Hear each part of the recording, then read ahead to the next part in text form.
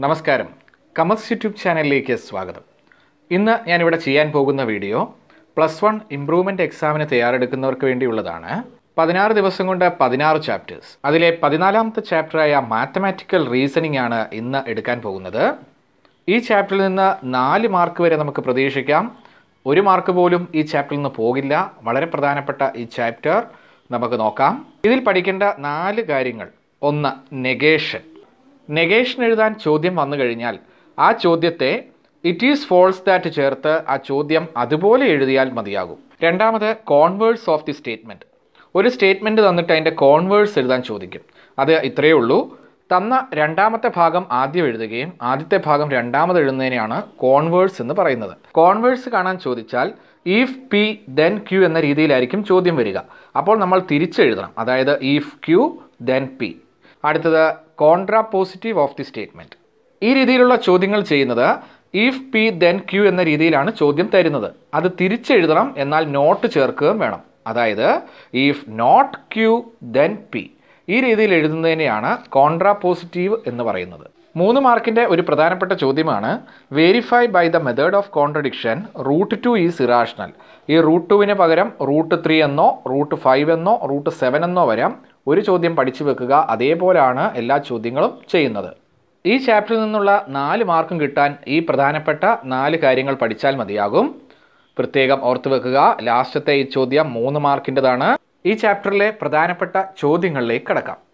ഒന്നാമത്തെ ചോദ്യം write the negation of the statement Chennai is the capital of Tamil Nadu നമുക്ക് തന്നിരിക്കുന്ന statement ശരിയാണേലും തെറ്റാണേലും നമ്മൾ ചെയ്യേണ്ട ഇത്രയേ ഉള്ളൂ. നെഗേഷൻ ആണ് ചോദ്യത്തിലുള്ളത് എങ്കിൽ it is false that Chennai is the capital of Tamil Nadu അതായത് നമ്മൾ ഇറ്റ് ഈസ് ഫോൾസ് ദാറ്റ് എന്ന് മാത്രം ഫ്രണ്ടിൽ ചേർക്കുക ബാക്കി തന്ന ചോദ്യം അതുപോലെ എഴുതി വെക്കുന്നു.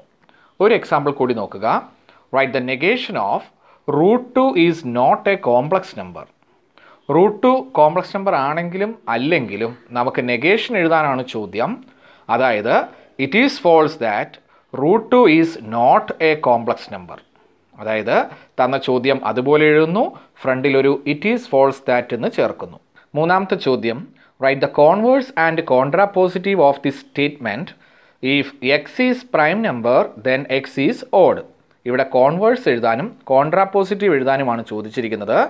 കോൺവേഴ്സ് എന്നാൽ ഈ തന്ന ചോദ്യം തിരിച്ചെഴുതുക. അതായത് ആദ്യം എക്സ് ഈസ് ഓടെന്ന് എഴുതി അതിനുശേഷം എക്സ് ഈസ് പ്രൈം നമ്പർ എന്ന് എഴുതുക. അതായത് ഉത്തരം നോക്കുക. ഇഫ് എക്സ് ഈസ് ഓഡ് നമുക്ക് തന്നിരിക്കുന്നത് രണ്ടാമത്തെ ഭാഗമാണ് അത് ആദ്യം എഴുതി. Then x is a prime number വീണ്ടും കോൺട്രാ പോസിറ്റീവ് എഴുതാൻ ചോദിച്ചിരിക്കുന്നു. അപ്പോൾ തിരിച്ചെഴുതണം എന്നാൽ നോട്ട് ചേർക്കണം. അതായത് if x is not odd then x is not a prime number അപ്പോൾ ആൻസർ ശ്രദ്ധിക്കേണ്ടത് നോട്ട് ചേർത്ത് എഴുതിയാൽ അത് കോൺട്രാ പോസിറ്റീവും വെറുതെ തിരിച്ചെഴുതിയാൽ കോൺവേഴ്സുമാണ് നാലാമത്തെ ചോദ്യം verify by the method of contradiction that root two is irrational root two irrational ആണെന്ന് പ്രൂവ് ചെയ്യണം. അതും കോൺട്രഡിക്ഷൻ മെത്തേഡാണ് ഇത് മൂന്ന് മാർക്കിന് ചോദിക്കാൻ സാധ്യതയുള്ളതാണ്. ഈ രീതിയിലുള്ള ചോദ്യം വരുമ്പോൾ ആദ്യത്തെ step assume root two is rational അതായത് നമ്മൾ അസ്യൂം ചെയ്യുന്നു റൂട്ട് ടു റാഷണൽ ആണെന്ന്. ഒരു റാഷണൽ നമ്പറിനെ നമുക്ക് പി ബൈ ക്യൂ ഫോമിൽ എഴുതാം. അതായത് root two is equal to p by q ഇതിനെ ഒന്ന് സ്ക്വയർ ചെയ്യുന്നു ഈ റൂട്ട് കളയാൻ അപ്പോൾ squaring both side two is equal to p square by q square ഇത് ക്രോസ് മൾട്ടിപ്ലൈ ചെയ്യുമ്പോൾ p square is equal to two q square എന്ന് കിട്ടും. അതിനെ ഇക്വേഷൻ വൺ എന്ന് വിളിച്ചു. കാരണം ഇവിടുന്ന് നമുക്ക് കിട്ടുന്നു പി സ്ക്വയർ എന്നത് ടുവിന്റെ ഒരു മൾട്ടിപ്പിൾ ആണ്.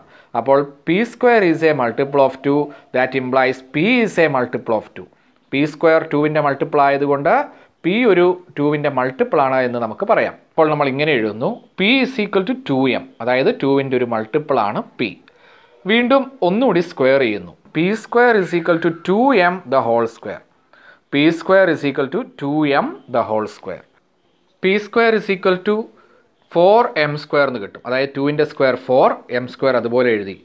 നമുക്ക് ഒന്നാമത്തെ ഇക്വേഷനിൽ ഒന്നാമത്തെ ഇക്വേഷൻ നമ്മൾ പറഞ്ഞു പി സ്ക്വയർ എന്ന് പറഞ്ഞാൽ ടു ക്യൂ സ്ക്വയർ ആണ്. അപ്പോൾ പി സ്ക്വയറിന്റെ സ്ഥാനത്ത് ടു ക്യൂ സ്ക്വയർ എന്ന് എഴുതി.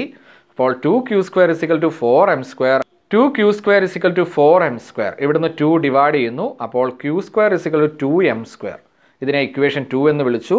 കാരണം Q square is a multiple of two that is Q is a multiple of two ഇവിടെ നമുക്ക് കിട്ടുന്നു പിക്കും ക്യൂവിനും കോമൺ ഫാക്ടർ ടു ഉണ്ട്. അതായത് നമ്മൾ അസ്യൂം ചെയ്ത കാര്യം തെറ്റാണ്.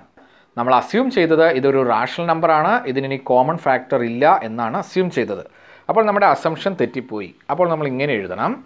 ഇറ്റ് ഈസ് കോൺട്രഡിക്ഷൻ അല്ലെങ്കിൽ അവർ അസംഷൻ ഈസ് റോങ് ഇതിൽ ഏത് വേണമെങ്കിലും എഴുതാം. അസ്യൂം ചെയ്ത കാര്യം തെറ്റിപ്പോയി. നമ്മൾ അസ്യൂം ചെയ്ത റൂട്ട് ടു ഒരു റാഷണൽ നമ്പർ ആണെന്നാണ്. അപ്പോൾ റാഷണൽ അല്ല. അപ്പോൾ അതിന്റെ അർത്ഥം റൂട്ട് ടു ഈസ് ഇറാഷണൽ ഇത് മൂന്ന് മാർക്കിന്റെ വളരെ പ്രധാനപ്പെട്ട ചോദ്യമാണ്. പഠിച്ചു വെക്കുക. ഇന്ന് നമ്മൾ ചെയ്ത ഈ വീഡിയോ നിങ്ങൾക്ക് ഇഷ്ടമായി എന്ന് കരുതുന്നു. വീഡിയോ ഇഷ്ടമായെങ്കിൽ ലൈക്ക് ചെയ്യുക ഷെയർ ചെയ്യുക ചാനൽ ഇതുവരെ സബ്സ്ക്രൈബ് ചെയ്യാത്തവർ സബ്സ്ക്രൈബ് ചെയ്യുക. അടുത്ത വീഡിയോയുമായി നമുക്കുടനെ കാണാം. താങ്ക്